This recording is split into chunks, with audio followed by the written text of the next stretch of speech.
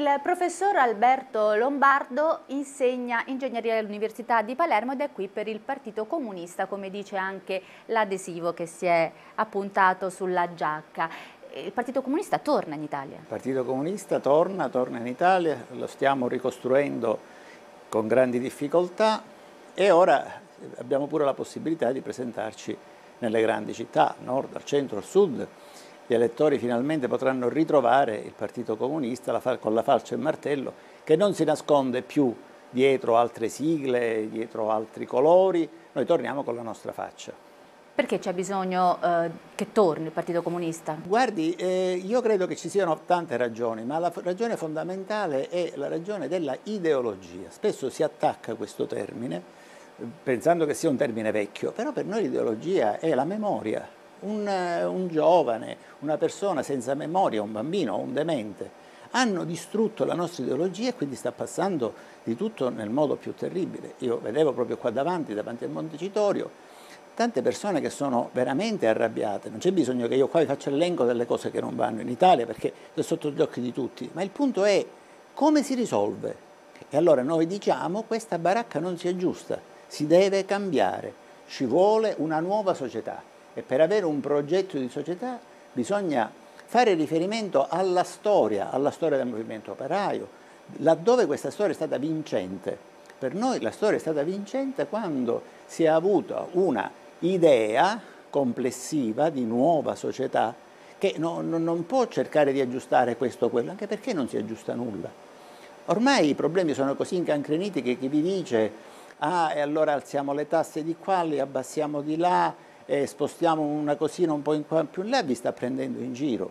Questa baracca va buttata giù e va costruita una nuova società, che è la società socialista. E quindi qual è il vostro progetto politico? Il nostro progetto politico è intanto di farci conoscere. Noi ci presentiamo alle elezioni non perché qualcuno di noi cerchi di trovare un posto o un posticino di governo o di sottogoverno. Ormai questi tempi sono finiti, anche perché l'abbiamo visto, ci hanno portato al disastro. Collaborare con, con governi borghesi ma non porta a nulla, anzi si fanno le porcherie peggiori a nome dei comunisti, a nome dei lavoratori. Basta. Noi ci presentiamo per fare conoscere la nostra idea, per riportarla tra la gente, per riportarla tra i lavoratori e per costruire un partito comunista più forte. Per noi è una vetrina. Dopodiché chi ci vorrà votare ci voterà, ma soprattutto noi più che il voto chiediamo l'intelligenza, le braccia, la mente dei lavoratori perché i lavoratori quando sono coscienti e sono uniti sono la forza più forte del mondo, quando sono divisi come sono ora è chiaro che sono alla mercé del, del primo squalo che, che, li sta, che li vuole distruggere. E quindi da cosa si dovrebbe partire secondo lei in questa società che voi auspicate? Ma noi intanto diciamo che bisogna partire dalla statalizzazione dei mezzi di produzione, cominciare da quelle più grandi, non certo l'abito, la macchina che io guido, ma i grandi mezzi di produzione devono essere statali sotto il controllo dei lavoratori. Lei mi dica se è possibile affidare la sanità al privato, lei mi dica se è possibile affidare l'istruzione al privato, ma anche le grandi imprese, le, le, imprese che svolgono un ruolo fondamentale nella società, devono essere assolutamente statali.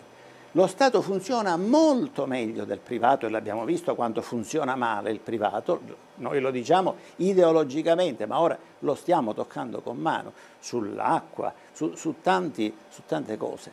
Perché? Perché lo Stato intanto non produce per il profitto, ma lo Stato deve produrre per i lavoratori sotto il controllo dei lavoratori ovviamente, perché se no torniamo a uno statalismo che certo non è stato molto positivo. Senta, sul vostro sito si legge contro l'Unione Europea, contro la Nato per il socialismo. Siete gli unici che dite espressamente contro l'Unione Europea? Se noi non usciamo dall'Europa non possiamo uscire dall'euro e se non usciamo dalla Nato non possiamo uscire dall'Europa. Sono tre cose assolutamente legate. Chi vi dice che vuole uscire dall'euro ma non vuole uscire dall'Europa o chi non vuole uscire dalla Nato, vi sta prendendo in giro, è tutto un blocco, si prende o si butta. Così come in Grecia abbiamo visto che una rivoluzione, tra virgolette, a metà è completamente fallita.